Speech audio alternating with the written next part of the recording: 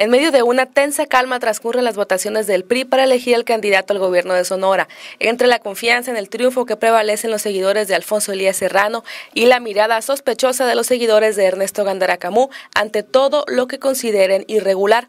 De hecho, la primera denuncia es presentada por el representante de Gándara Camú, Ambrosio Escalante, por irregularidades como el permitir cortinas en las casillas de votación, ya que aseguran que eso permite que entren a sufragar con celulares y le tomen foto a su boleta. La otra es que no los dejaban usar un PIN que los identifica como borreguistas, ni el acceso a las computadoras donde se vaciará la información del conteo.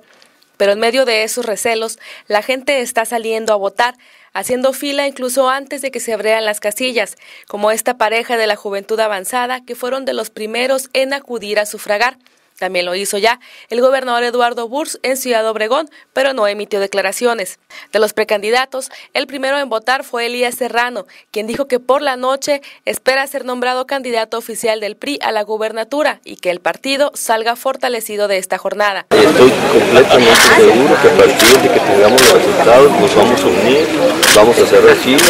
porque a partir de mañana hasta el día 5 de julio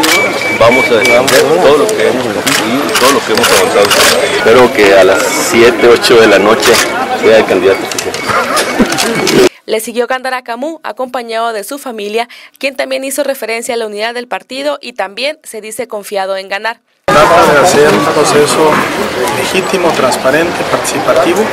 que es lo que estamos viendo hasta el momento y si hay algunas irregularidades pues hay que denunciarlas en cualquier caso, ¿eh? no nada más nosotros. Estoy eh, por eh, una actitud totalmente optimista, yo creo que va a una gran participación, si hay algunas cuestiones que subsanar se harán, pero mi apuesta no es a eso, mi apuesta es que tengamos un proceso libre, equitativo, participativo, como ya se está viendo, y que hoy en la noche o más tardar mañana en la mañana tengamos, tengamos resultados claros, contundentes, en donde todo el partido se no hay que olvidar, este es un partido fuerte, sólido, en donde las diferencias que se puedan dar no implica que eh, pueda haber rompimiento. Entre los votantes estaba Guillermo Hopkins Gámez, quien se bajó de la contienda a mitad del camino y dice que lo hizo siendo realista. Y sobre las denuncias que interpuso en contra de Elías Serrano, dijo que está seguro de que éstas ya duermen el sueño de los justos, pero que hoy su voto no es por el senador con licencia. Espero que, que sea una elección limpia, que sea una elección transparente y que salgamos fortalecidos, porque luego, luego hay victorias pírritas.